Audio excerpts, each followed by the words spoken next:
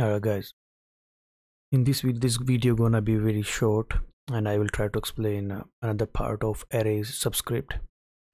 So whenever your array subscript is going out of range your processor always goes into the major fault.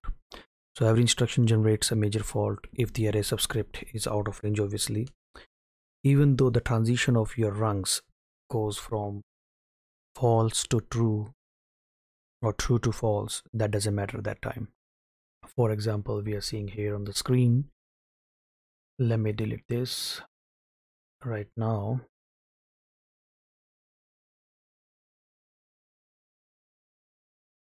Up the edits. Okay.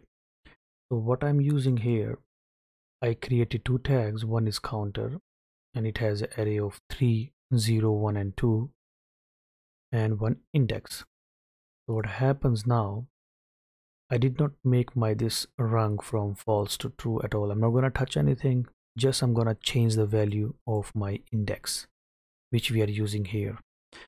The value of index I'm changing let's say 3 more than 2 because right now our values are 0 1 and 2 that's it. That's the range of my array at the moment. If I put 3 that means it's it if the index value is 3 it's gonna be like counter and then 3 here. As soon as I hit enter my processor goes into the fault it's a major fault. So that means even though your rung is true or false it's your processor is still scanning the subscript of array using under any instructions. So if I go to major fault it will say array subscript too large. So let's clear that. You can clear the fault obviously but you can't go to run mode unless you just clear the error. If I try to go to run mode processor will go under major fault again.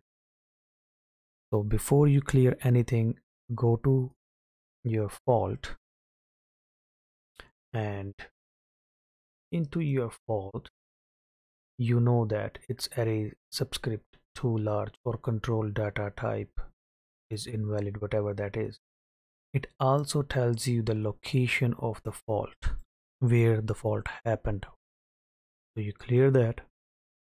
In the main program main routine we are in the main routine rung number one that's happening over here because of this array size.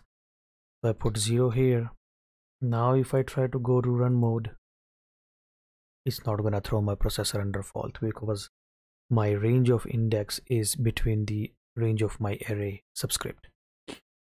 So to prevent this kind of issues we use this greater than and equal to. So anytime my index value is greater than or equal to 3 just put 0 in my index. If I let's say try to put here 2 it will accept it. But if I put 3 it throws it to 0 6 throws it to 0 so now as long as this rung is above this rung it's not gonna throw under the major fault. But somehow if I use this rung after this rung and finalize this now it will go to major fault. If i put 3 here your processor goes into major fault. So this is very important as well where you are using your instructions where you are using your code. So let's clear that. Move this above that.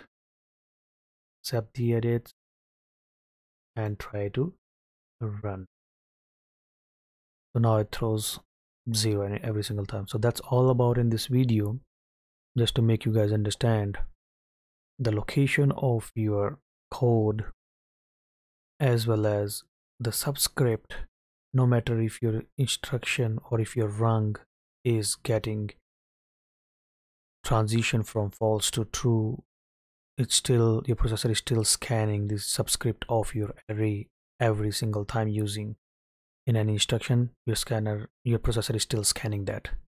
Thank you very much